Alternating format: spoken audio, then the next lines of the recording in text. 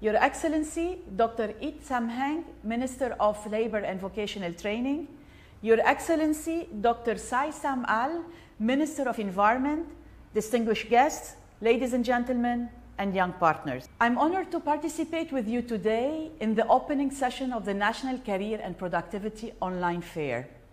The effort invested by the Ministry of Labor and Vocational Training and the National Employment Agency are commendable, namely for adapt adopting new ways of working to respond to the uncertainties and complexities brought about by the COVID-19 pandemic.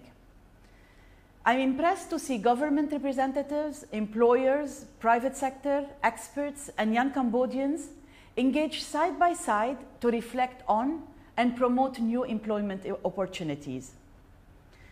The COVID 19 crisis has had a significant impact on socioeconomic progress in Cambodia.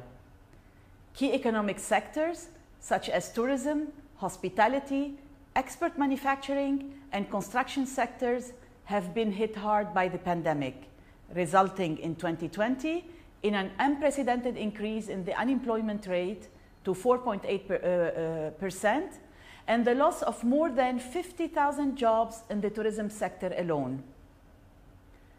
Noticeably, working women have been disproportionately affected due to their higher participation in the garment and tourism industries. The pandemic will have sustained tolls on the country in the medium to long term due to the significant disruption in education and youth vocational training. This is not unique to Cambodia.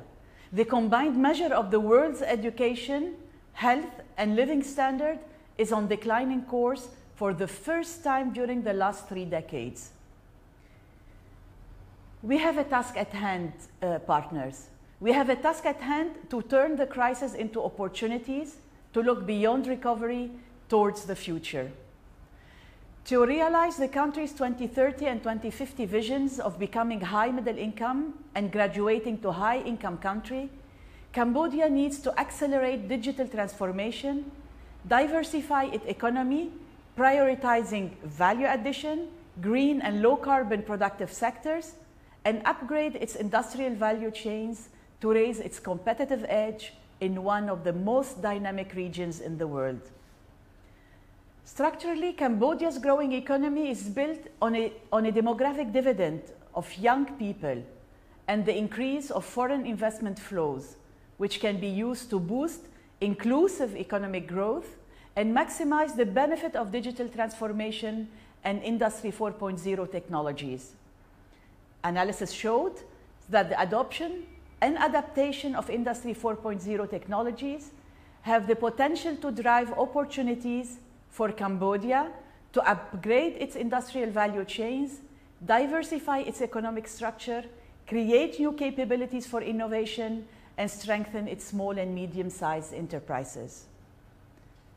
Digital transformation is a must. It is a prerequisite for uh, stimulating the economy by facilitating communication, empowering individuals, creating employment, and spurring innovation. But on the other hand, it also carries the risk of widening pre-existing inequalities exposed by the pandemic between the, ha the haves and have-nots. Excellencies, distinguished guests, and young people.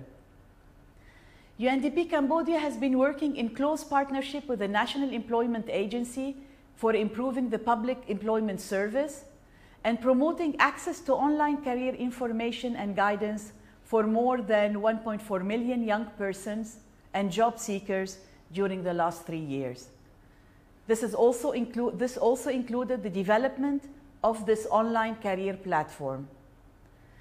To maximize the country's competitive advantages, UNDP has worked with relevant ministries, local partners, and international experts to assess the country's core uh, Industry 4.0 readiness and digital skills infrastructure in view of identifying and assessing challenges and gaps for embracing uh, Industry 4.0.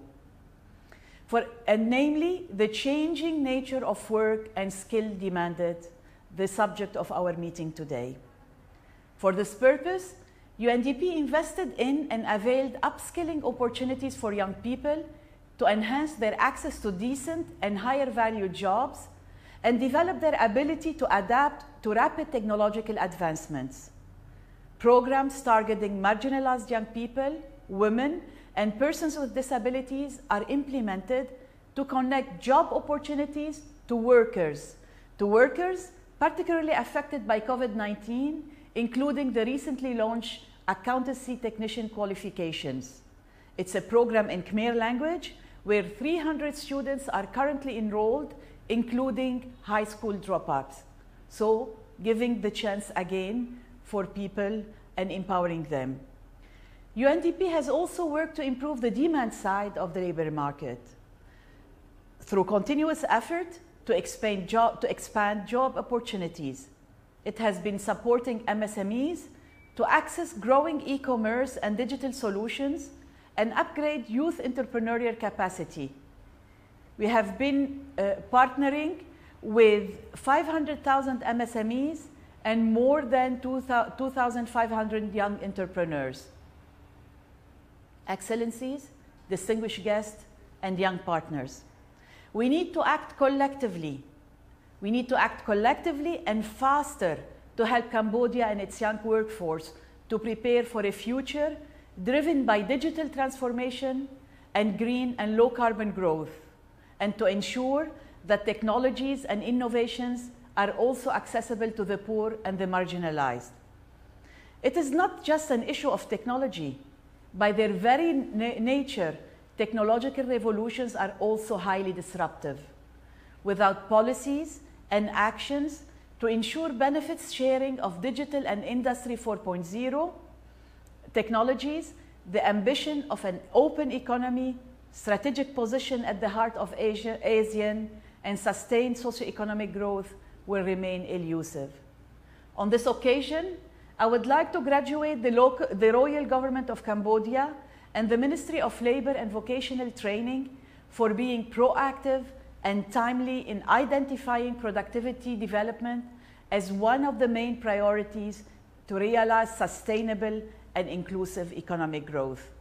The strategic choice is clearly illustrated by several national policies, namely the Industrial Development Policy 2015 to 2025, the National Technical Vocational Education and Training Policy 2017 2025, uh, the National Productivity Master Plan 2020-2030, and other interventions for skills and entrepreneurship development.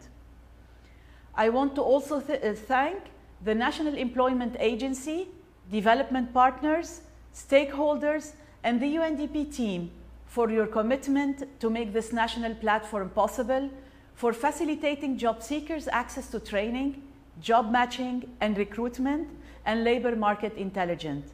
I wish you all a very successful and fruitful event. Okun Shon.